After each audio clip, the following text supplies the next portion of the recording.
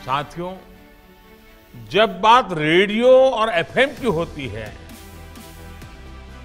तो हम जिस पीढ़ी के लोग हैं, हम सबका रिश्ता एक भावुक श्रोता का भी है।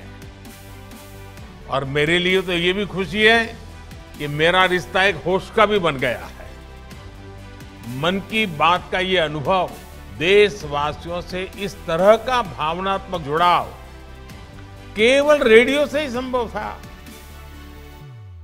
वक्त बदला तो कई चीज़ें बदल गईं। कुछ चीज़ें साथ रहीं तो कुछ बिछड़ गईं। जो था कभी सबका प्यारा, वो कहीं खो गया। वो खुशरंग रेडियो भी ज़िंदगी से दूर हो गया। वो रेडियो जिससे कभी वीर सुभाष ललकारा था। वही जिससे गूंजा कभी स्वतंत्रता का जयकारा था। इस नई चकाचौंध में पुराने रिश्ते अब कौन निभाए? छोड़ो यार, नए जमाने में पुराना रेडियो कौन बजाए?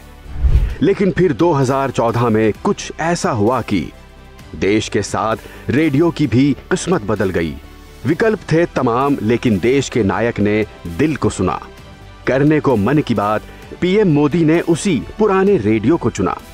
भूले बिसरे गीत सुनाने वाला रेडियो। अब युवाओं को जन आंदोलन से बदलाव की कहानी सुना रहा है। दादाजी का वो दोस्त रेडियो अब मन की बात से एक भारत को श्रेष्ठ भारत बना रहा है।